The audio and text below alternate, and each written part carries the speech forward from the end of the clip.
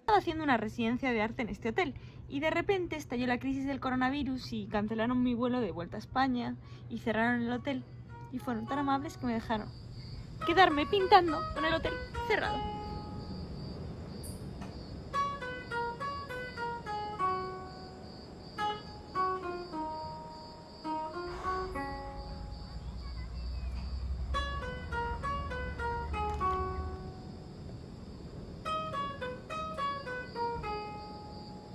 Bueno, ya no más, ya te dejo, amor mío. Sigue disfrutando tanto. ¿Cómo he disfrutado hablando contigo? Es como si me hubiera ido de plan.